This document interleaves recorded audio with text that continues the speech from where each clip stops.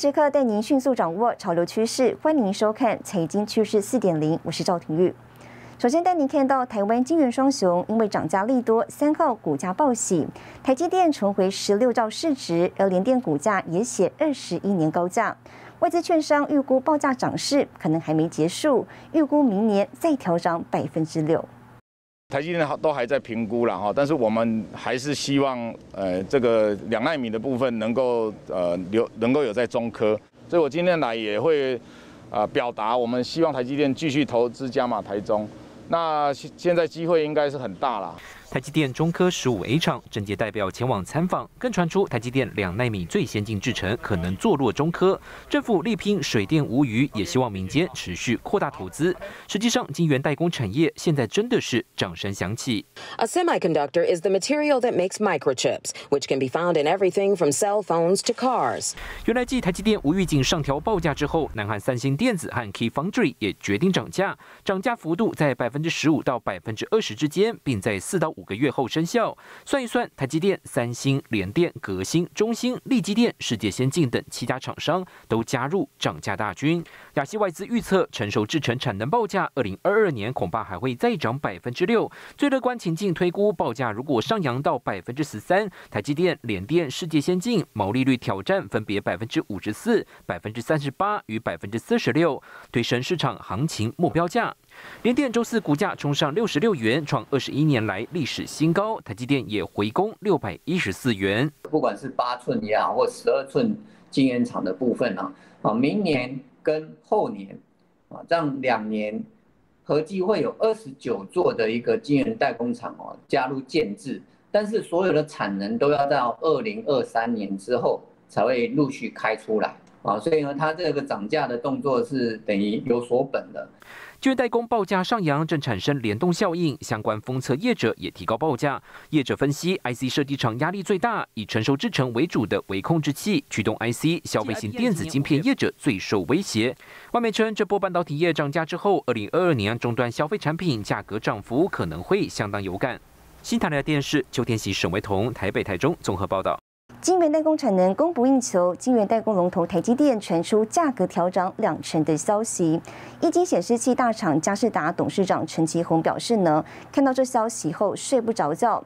他认为呢，势必会带动下游续涨，担心通膨会提早发生。台积电这几天已经本来讲说都不调了，结果最后又来一个这个调二十八左右啊，这个大概我们看了又睡不着觉。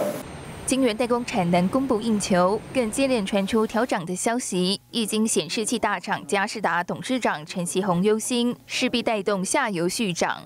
每一个料啊都来涨价，它不只有半导体涨，它样样都涨。特别是今年下半年，啊，完成明年上半年，那应该都要很小心操作，不会再像去年、再像今年说，哎，这个整个只是说缺料而已啊，需求都还在那里。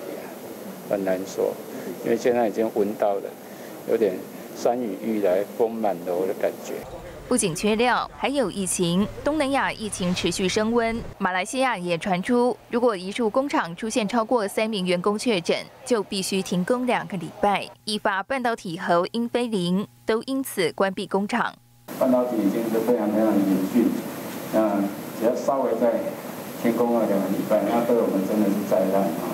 很多本来一定要来的又都没来，呃，更何况泰国啦、印尼啊这些很多国家也都有很多的半导体啊，那真的是让人忧心忡忡。陈启宏表示，现在各种变数越来越多，疫情改变需求，产业界也必须跟着调整脚步。嘉士达今年上半年合并营收一千零六十九亿元，每股税后盈余三点零一元，创十年全年新高。展望下半年，陈启宏保持审慎乐观，较上半年多了审慎，就是担心通膨提早发生。新唐人亚太电视曾豪、李晶晶，台湾桃园报道。北美洲台湾商会联合总会三号举办美台半导体产业高峰论坛，聚焦全球半导体未来二十年趋势。专家分析，台湾和美国在半导体供应链上是上下游互补，两国合作是天作之合。半导体产业今年是前所未有强劲成长，全球半导体贸易统计组织两度上修成长率，从百分之八点四上修到百分之十点九，更来到百分之十九点七。主要动能笔电、五 G、HPC、车用电子。PIDI 董事长台中和指出，台湾在产业中堪称值世界之牛耳，更是美中地缘政治聚焦所在。大陆上称第三代半导体，台湾我们叫做化合物半导体。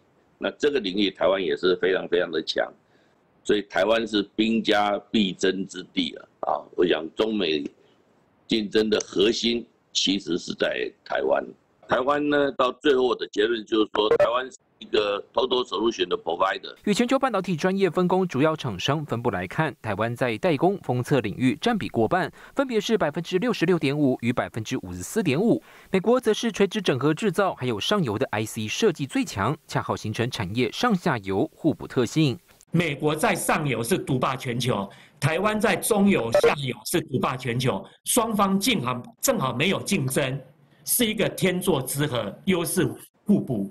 反观呢，两岸在半导体反而是竞争大于合作。智慧物联网、资讯安全、五 G、电动车是台美未来合作具体方向。陈子昂也分析，数位转型趋势贯穿未来二十年成长主轴，车用。跟通讯用带动了整个半导体未来的发展，好，甚至会产能不足，会到二零二三年，未来的数位转型更是会让半导体呢再造下一个春天。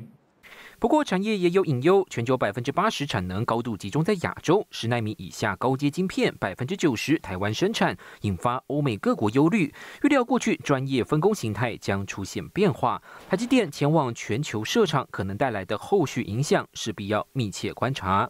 新台日沈维彤台湾台北报道。接着带您看到这一周的财经趋势短波。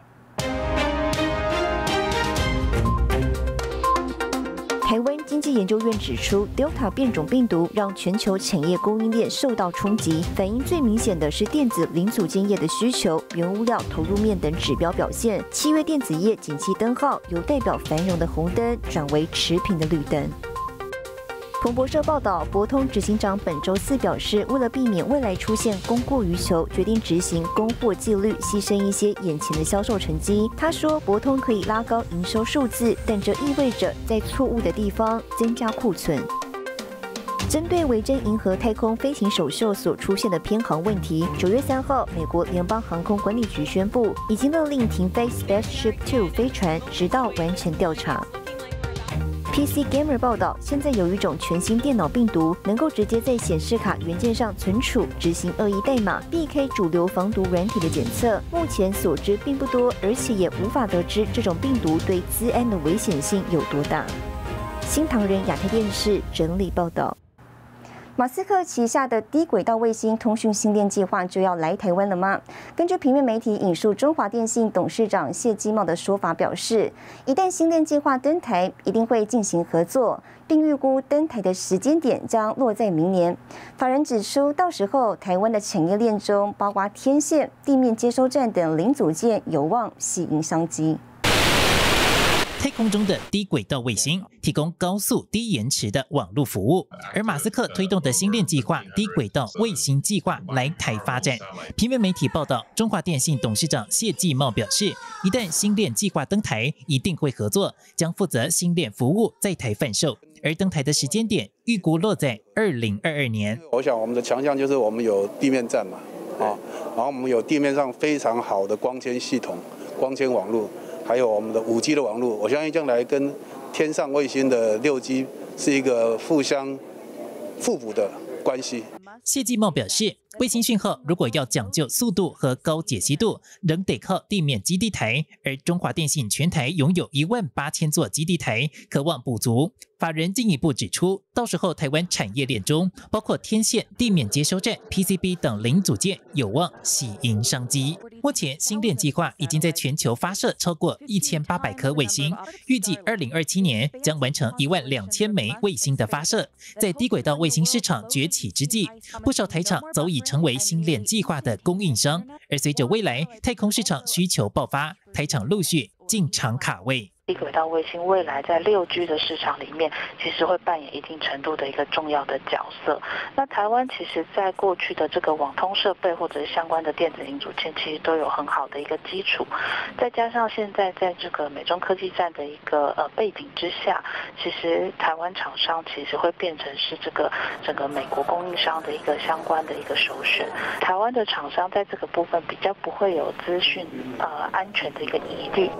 先前就有消息释出，星链计划早早就来台湾探路，与主管机关 NCC 和中华电信等业者接触。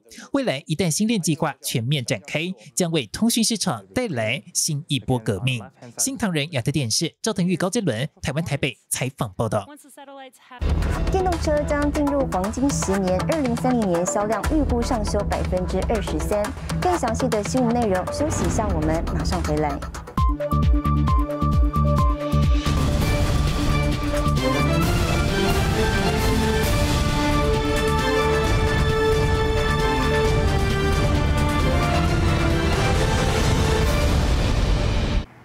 回雷，全球电动车市场需求快速成长。美国投资银行高盛上调全球电动车的总销量，二零三零年销量预估上修百分之二十三，来到三千两百万辆。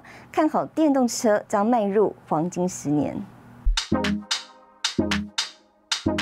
随着欧美政府明定禁售燃油车的时程后，电动车产业前景持续被看好。美国投资银行高盛上调全球电动车的总销量。二零二五年销量预估上修百分之三十，来到一千三百万辆；二零三零年上修百分之二十三，至三千两百万辆。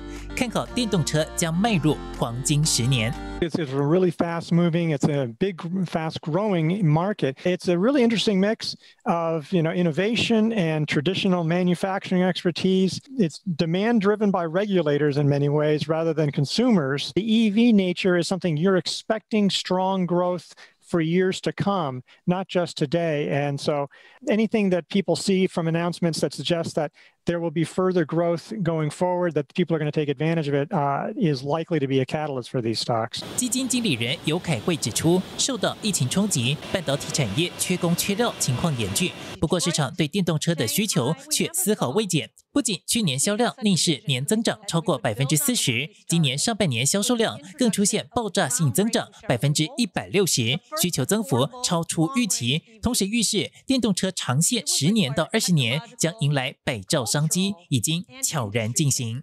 If we're looking over the next, you know, 10 to 15 years, you're probably going to see more change in the automotive industry than we've seen in the previous 100 years. 随着全球近期接连爆出车用晶片荒与电池荒，凸显电动车需求殷切，相关供应链获利与股价未来有望水涨船高。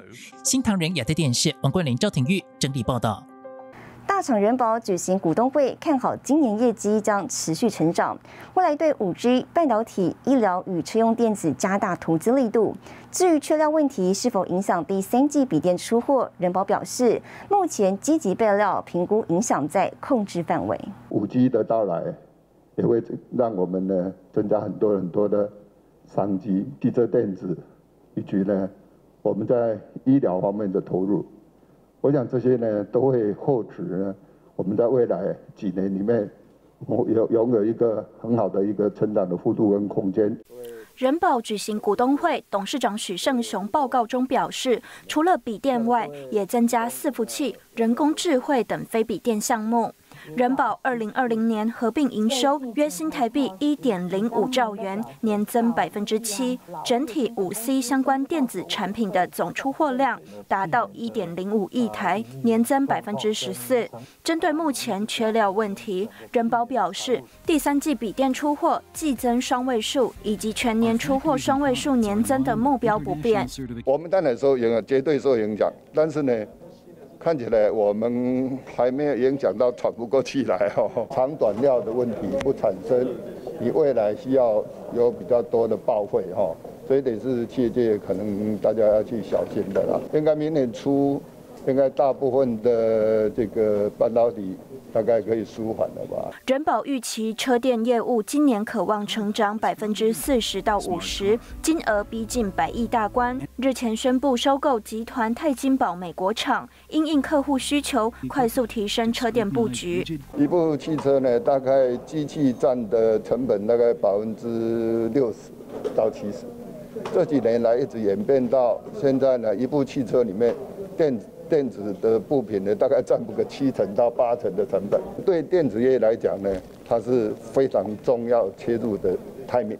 人保总经理汪宗斌指出，尽管欧美等市场仍受到疫情影响，但预期人保今年业绩有望较去年成长。未来对五 G、半导体、智慧医疗、车电领域投资会加大力道。新唐人亚太电视池千里张元婷，台湾台北采访报道。外媒报道，美国拜登政府呢有意批准华为采购汽车晶片，由于涉及长达两年的贸易管制清单，格外引起业界关注。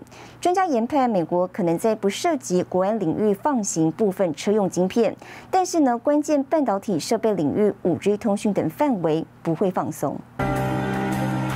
华为宣称砸下十亿美金投入研发自驾电动车，今年四月找上车厂宣传旗下自动驾驶系统，还有电动车布局。外媒报道，美国拜登政府有意放行华为购买汽车晶片，尤其正值阿富汗事件当下，格外敏感。基本上，汽车电子，然后只要不要涉及到自动车、自驾车，甚至于说所谓的车载资通讯这一块的话。原则上，其实基本不会涉及到什么太多的国安问题。中美角力当中的话，可能取得了美国同意让中国取得部分的进展。二零一九年开始，华为被列入实体管制清单。美国商务部重申，对华为政策立场并未松绑或修正。资深产业分析师柴焕新观察，拜登政府对中有三步政策：围堵中共在地缘政治优势、台海、南海问题，还有高科技领域上围堵中共。研判关键领域包括 HPC、五 G，不会轻易放手。我认为美国还是会要求荷兰的 s m o r 公司不能将半导体设备输出给。呃，输出给中国大陆晶圆代工的部分的话，应该也还会加以持续的管制。其次的话，就是手机晶片，还有就是伺服器相关的东西，应该在这个这些部分，美国应该也不会轻易的让步。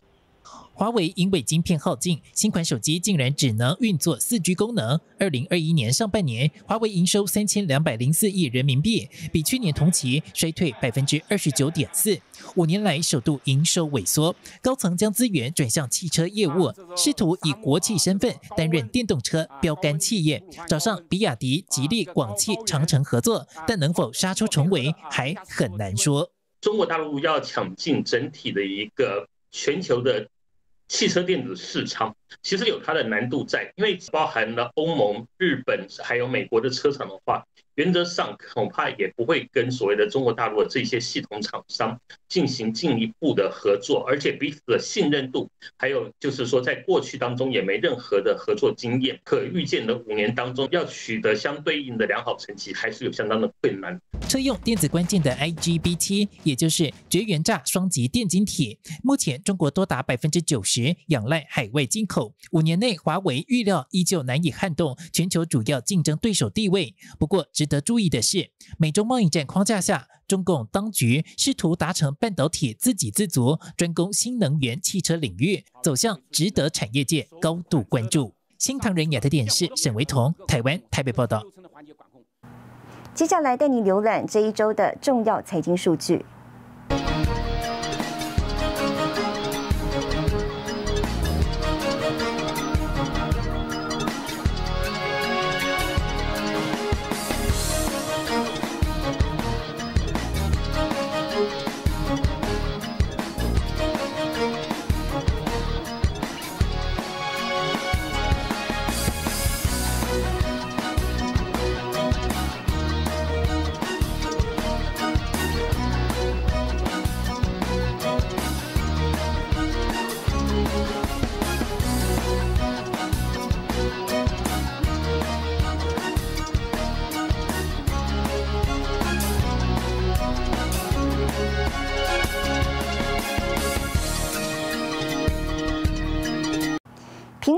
链之一的中国厂立讯精密近期传出代工的 Apple Watch 没有通过苹果检验而遭退货，甚至呢大量裁员，股价闻讯大跌。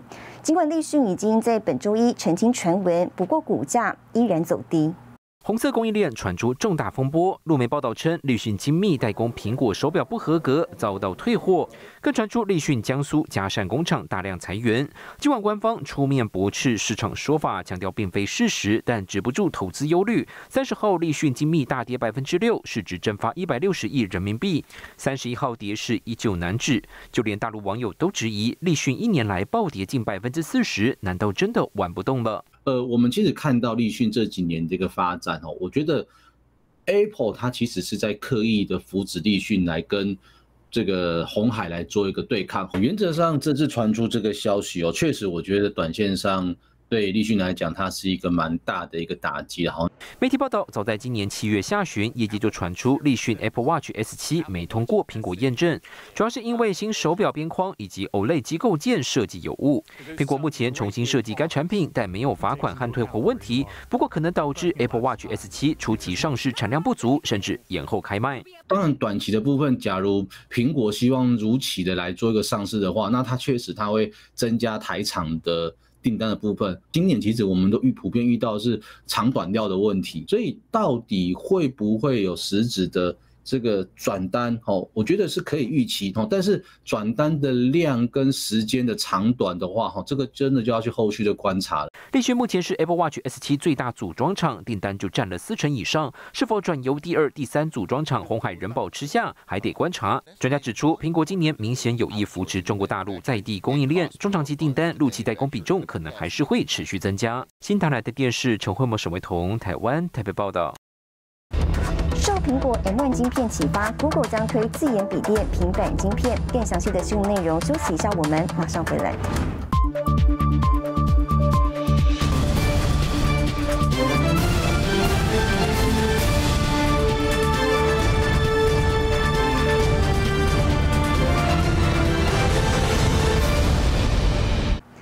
回来科技大厂竞相投入自研晶片。日媒报道，Google 也正在开发自家中央处理器晶片，将运用在笔电和平板上，预计二零二三年推出。不过呢，投入自研晶片费用高昂，专家透露了，如果呢是使用最先进的五纳米制程，光是设计一款晶片成本就高达五亿美元。即使呢是使用二十八纳米成熟制程，也要五千万美元。后续还有待观察。This is the Pixel 5a with 5G. Google 继八月推出 Pixel 5a 手机后，首款搭载自家晶片的旗舰机 Pixel 六将在秋季发表。中国科技布洛克爆料，Google 计划在苹果新 iPhone 发表会前一天，也就是九月十三日发表新机，较劲意味浓厚。Today, I'm excited to announce the TPU V4, a single V4 pod. Contains 4096 V4 chips, and each pod has 10x the interconnect bandwidth per chip at scale compared to any other networking technology. 不仅手机晶片，根据日经新闻报道，Google 正在开发自家中央处理器晶片，预定二零二三年推出，采用在 Chromebook 和平板电脑。据传已积极向高通、英特尔、联发科等传统芯片厂挖角技术人才。报道指出，苹果成功开发自己的关键半导体，并取代英特尔处理器，让 Google 深受启发。报道也指出，Google 越来越专注于开发自己的晶片，因为全球竞争对手正在采取类似的策略来区分他们的产品。包括亚马逊、Facebook、微软、特斯拉、百度和阿里巴巴集团都在竞相打造自己的半导体，为他们的云服务和电子产品提供动力。And the CPU, GPU, and other components were all separate chips in the system. Now, with the system on a chip architecture of M1, these are all consolidated into this much smaller logic board.